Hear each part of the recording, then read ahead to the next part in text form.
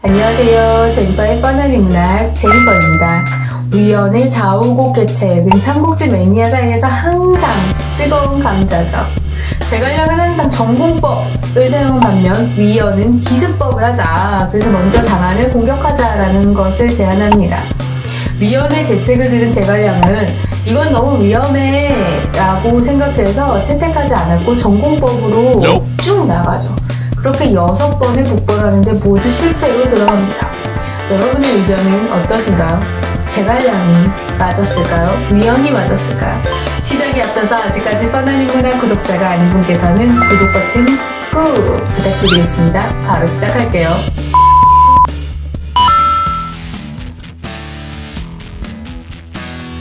그 정확한 내용을 정사를 통해서 확인해 보겠습니다.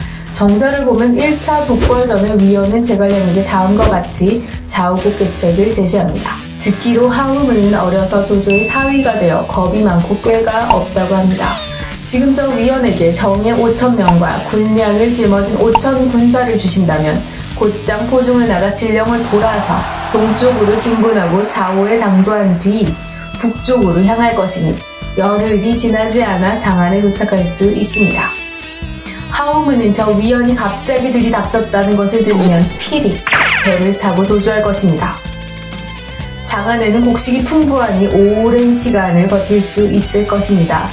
동방에서 우리나라에서 군사를 모아오는데 20일은 걸릴 것이니 이 시간 동안 승상이 야곡을 나와 장안으로 도착하시면 됩니다. 이와 같이 한다면 일거에 한양 서쪽을 평정할 수 있습니다. 하지만 제갈량은 어떻게 생각했나요? 이거 너무 위험해. 라고 했죠. 그래서 이 위원의 계책이 채택되지가 않는 거예요. 이 좌우국 계책을 요약하면 다음과 같습니다.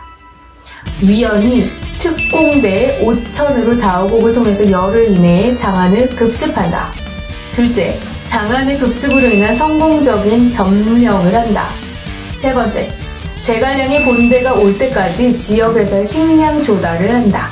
네 번째, 장안 동쪽의 동관을 점거하여서 위나라의 군대를 방어한다. 다섯째, 제갈량의 본대가 장안 및 동관에 합류하게 된다. 참고로 제갈량은 여섯 번의 북벌을 하죠. 근데 장안 점령은커녕 장안 근처에도 못 가요. 위원의 좌우국 계책은 단번에 이 장안을 점령할 수 있는 기습법이었던 셈입니다. 제가 이거를 준비한다고 위원회 자우국 계책에 대한 인터넷 자료들을 쫙 찾아봤는데 열띤 논쟁이 있는 거예요. 된다, 안 된다. 그런데 의견을 종합해보니까 대체적으로 안 된다가 7, 된다가 3 정도인 것 같아요. 결론적으로 제가 내린 결론은 3. 자우국 계책은 충분히 해볼 만한 계책이었다고 생각을 합니다. 기습 작전이었으니까 성공 가능성이 높았던 것은 1차 북벌 때였죠. 그리고 제갈량은 이 좌우국 계책을 채택하지 않음으로써 그나마 총나라가 승기를 잡을 수 있는 좋은 기회를 잃고 말았다는 것이 제 생각입니다.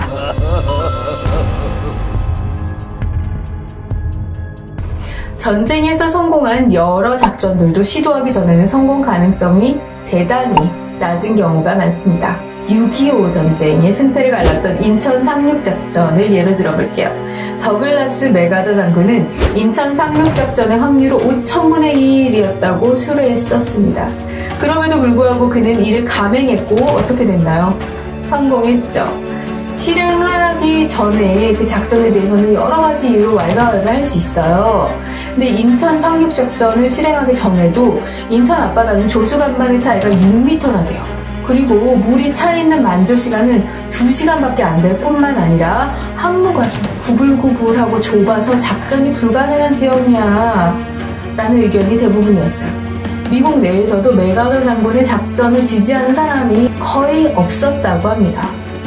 그렇다면 이런 의견에 밀려서 인천 상륙작전이 감행되지 않았다고 가정하고 훗날에 인천 상륙작전의 가능성에 대해서 열띤 토론을 벌린다면 어떨까요? 성공 확률이 5천분의 1인 인천 상륙작전은 폐기되길 잘했어. 아이고, 안 하기로 잘했네. 라는 의견이 압도적일 것입니다.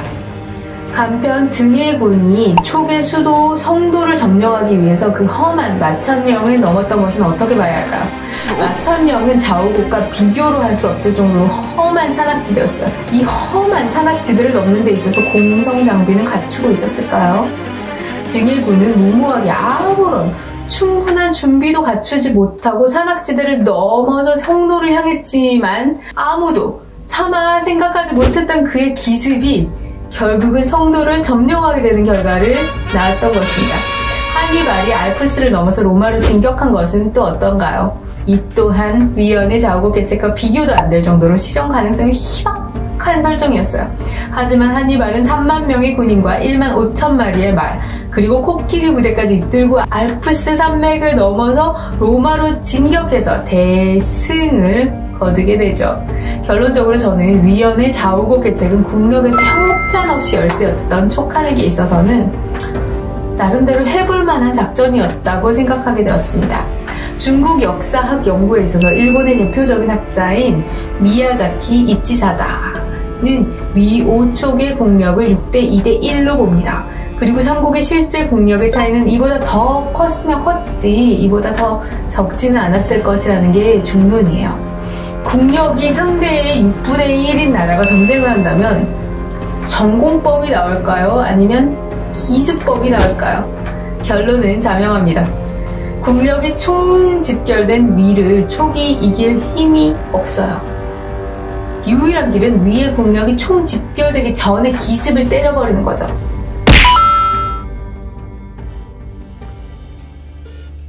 이 계책을 부정적으로 보시는 분들이 제시하는 의견들은 대체적으로 다음과 같을 것입니다. 좌우곡에서 장안으로 가는 길은 쉽지 않고 장안성은 그렇게 호락호락하지 않다.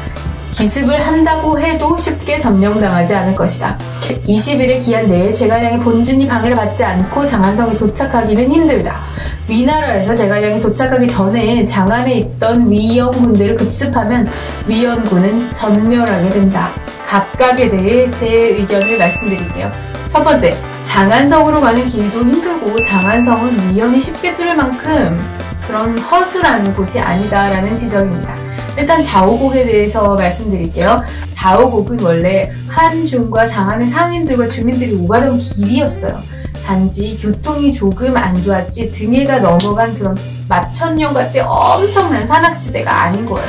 참고로 훗날 조우진이 한중을 침공할 때도 이곳을 이용했었습니다.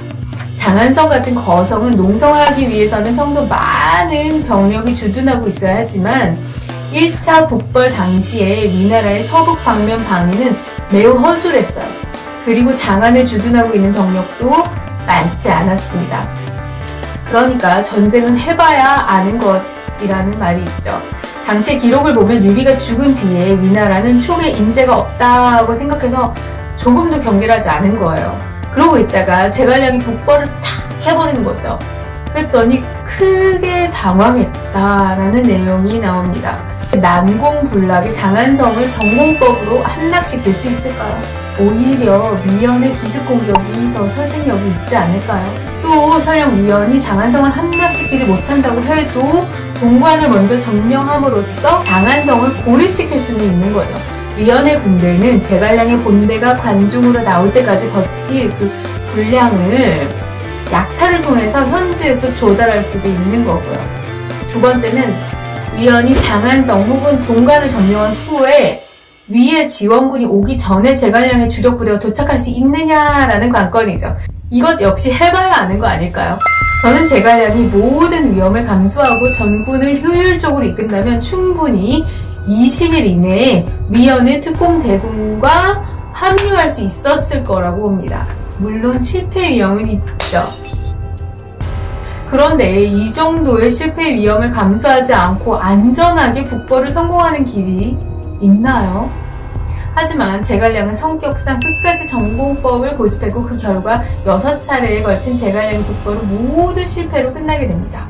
삼국지 저자인 진수가 제갈량을 평하기를 여러 해 동안 군사로 움직였으나 공을 이루지 못했으니 응변 장략은 그의 장점이 아니었던 것 같다라고 이야기했습니다. 이게 바로 이 자국개책에 대한 것을 지적한다고 생각할 수 있지 않나라는 생각을 하게 됐습니다. 제갈량의 머릿속에는 전공법 외에는 특별한 아이디어가 없었다는 것이 사실 제 생각이에요.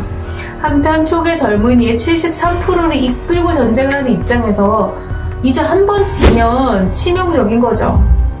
그 당시 또한 정말 힘든 상황이었다는 것 또한 충분히 이해가 갑니다.